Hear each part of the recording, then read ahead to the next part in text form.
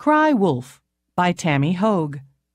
In the rural parishes of Louisiana's French Triangle, young women are disappearing one by one, only to turn up on the banks of the bayou, strangled and cast aside where they are sure to be found.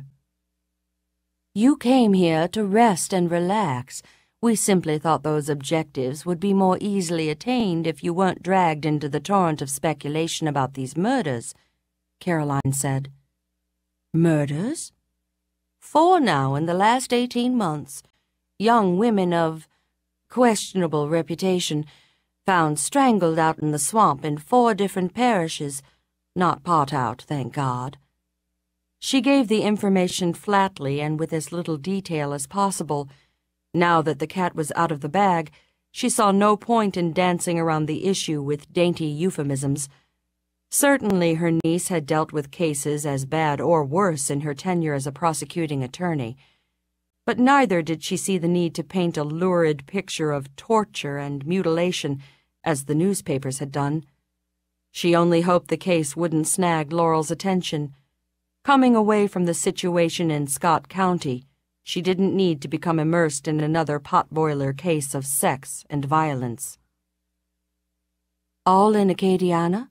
Laurel asked, narrowing the possibilities to the parishes that made up Louisiana's French Triangle.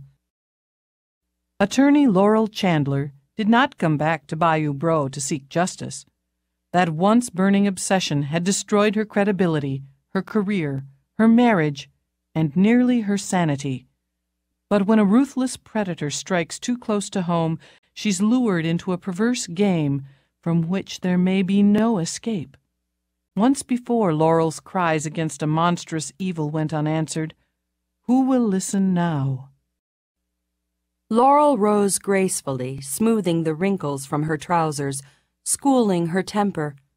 Kenner was hardly the first jerk she'd ever come up against. I don't care where he pisses, Sheriff she said smoothly.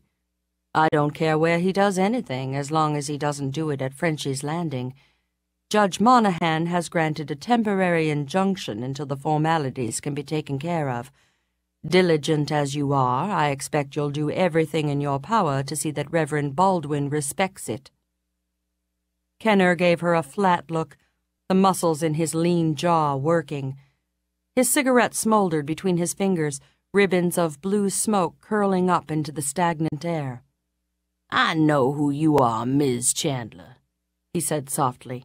I don't need some female with an overactive imagination running around my parish crying wolf every time she turns around and doesn't like the look of somebody.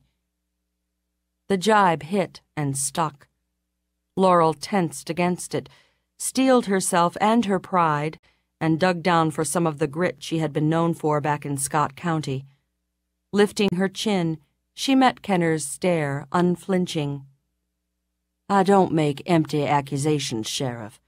If I cry wolf, there'll be one coming to chew your skinny ass.